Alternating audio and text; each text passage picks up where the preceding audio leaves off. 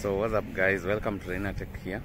So today we are going to upgrade the RAM for Alienware M15R7. I hope you enjoy the video. So this is Crucial 64 GB RAM. I want to go and install it in Alienware M15R7. It has that 2 GB but I bought this because of my research mainly yeah so 64 gb kit i will install it probably maybe today it's from crucial. Sorry for the focus.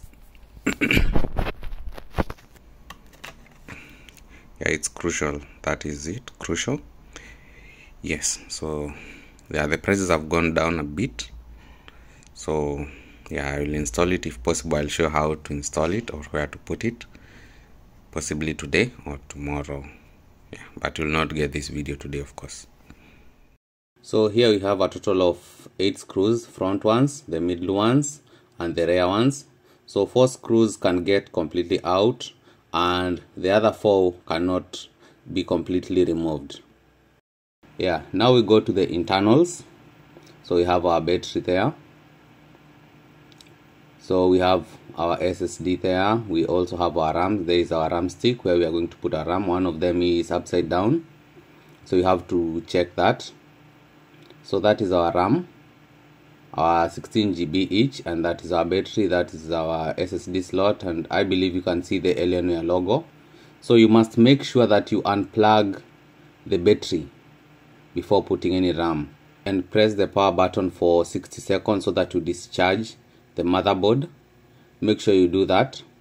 So and now as you can see i want now to unplug the rams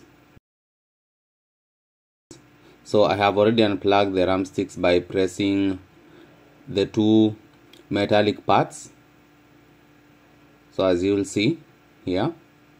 So now that's how I'm going to put it back. As you can see my friend has assisted me. Now you put it and you push you just push down until you hear a click tack like that. Now for the second one now that is how you do it. So you must make sure that it's up facing up. So you just pull them apart like that and the ram will pop up.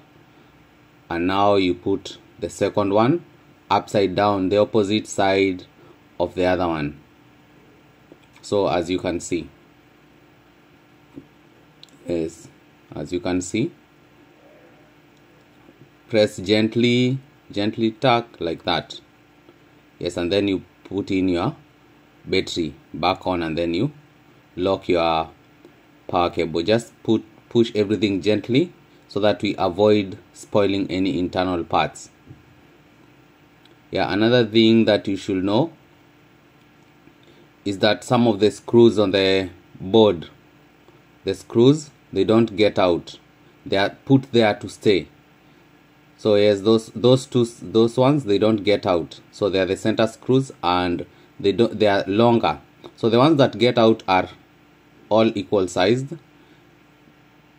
So you have to make sure that you remember that.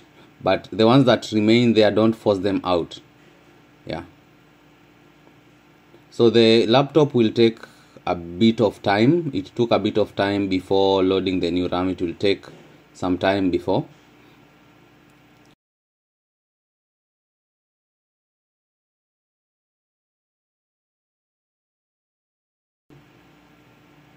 yeah so you just put it gently and then you lock it you lock in place. So you start with the most front part and then the part close to me is the last one.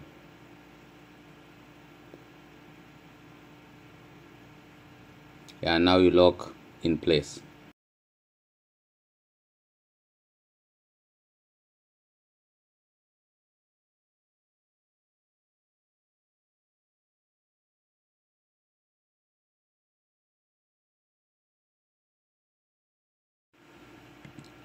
so now we put the power button on. If you see the rgb keys rgb lighting on your keyboard everything is okay. No need to worry. Now you have to give your laptop some time so as you can see I was so happy to see that. So give your laptop some time to load the new ram.